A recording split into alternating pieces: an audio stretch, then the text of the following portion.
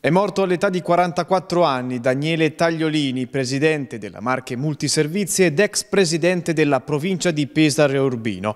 Dalla scorsa estate lottava contro un tumore allo stomaco. Nato a Sasso Corvaro il 22 ottobre del 1977, ha ricoperto diversi ruoli nel suo percorso, tra i tanti sindaco di Peglio nel 2004 per ben tre mandati, dal 2014 portavoce nazionale di Lega Ambiente per i comuni rinnovabili e da aprile dello stesso anno presidente dell'Ato. Ma sono tanti, ancora tanti, gli obiettivi che Tagliolini ha susseguito e raggiunto grazie anche alla sua grande esperienza, dedizione e tenacia.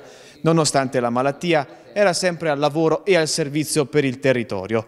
In tanti sul suo profilo social lo hanno voluto ricordare per la sua bravura per il suo impegno, tanto lo sgomento tra amici, parenti e il mondo politico. Tra i tanti sindaci a ricordarlo, il primo è stato quello di Pesaro Matteo Ricci che lo ha descritto come un amministratore appassionato e lungimirante, un politico leale e interessato solo alla sua terra, una persona sempre positiva e soprattutto uno di quegli amici che ti coprono sempre le spalle in tutte le circostanze. Nel sito della provincia c'è ancora la pagina dedicata a lui con una delle sue diciture chiave. Non è importante chi fa gol o che opera si realizza, quello che conta è giocare di squadra ed avere tutti un obiettivo comune.